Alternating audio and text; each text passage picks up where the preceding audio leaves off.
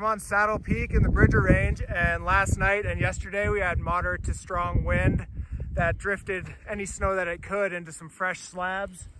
Um, there's a little bit thicker soft slabs on the surface that we're seeing crack today. And then we had a stability test break and propagate underneath a harder slab that's about six inches deep. And it broke on a layer of sugary facets.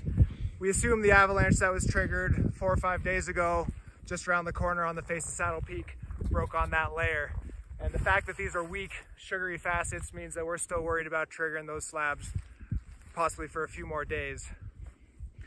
So these wind-loaded slopes are our main concern right now, where we could trigger soft, fresh slabs or hard slabs. So watch out for wind-loaded slopes. We are still finding weak snow lower in the snowpack, but we haven't had a ton of loading to stress that weak layer lately. So right now we're not worried about really big avalanches breaking on it, but we are keeping it in mind for when we hopefully get more snow in the future.